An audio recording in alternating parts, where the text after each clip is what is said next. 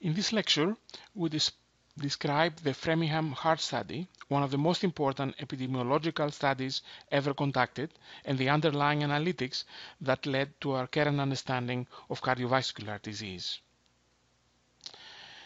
To motivate how the study affected our understanding of blood pressure today, we describe the case of Franklin Delano Roosevelt, FDR for short, who was the President of the United States from 1933 to 1945.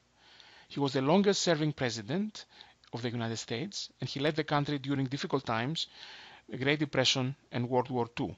He died while a president on April 12, 1945.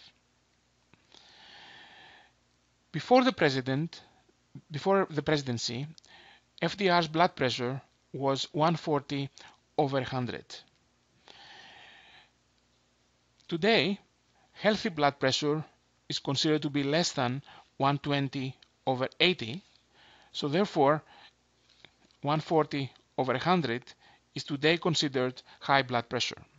One year before his death, his blood pressure was 210 over 120. Today, this is called hypertensive crisis and emergency care is needed. On the other hand, FDR's personal physician said a moderate degree of arteriosclerosis, although no more than normal for a man of his age. Two months before his death, his blood pressure was 260 over 150, and the day of his death was 300 over 190. There were early misconceptions in the first half of the 20th century about blood pressure high blood pressure, dubbed essential hypertension, was considered important to force blood through arteries, and it considered harmful to lower blood pressure. Today, of course, we know better. In the words of Daniel Levy, the Framingham Heart Study director, where he says, Today, presidential blood pressure numbers like FDR's would send the country's leading doctors racing down hallways, whisking the nation's leader into the cardiac care unit of Bethesda Naval Hospital. So how do we learn?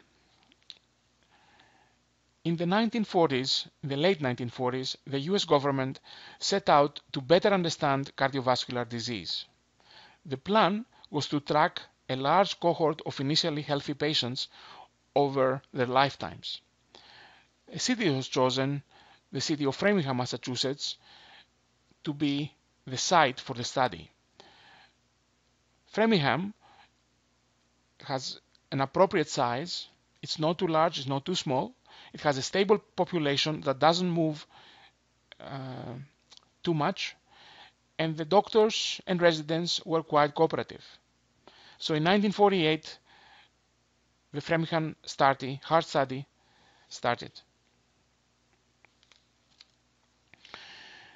The study included 5,209 patients aged 30 to 59. Patients were given a questionnaire and an examination every two years. During this examination, their physical characteristics were recorded, their behavioral characteristics, as well as test results. Exams and questions expanded over time but the key in the study was that the trajectory of the health of the patients was followed during their entire lifespan. In this class, we'll build, we will build models using the, the Framingham data to predict and prevent heart disease.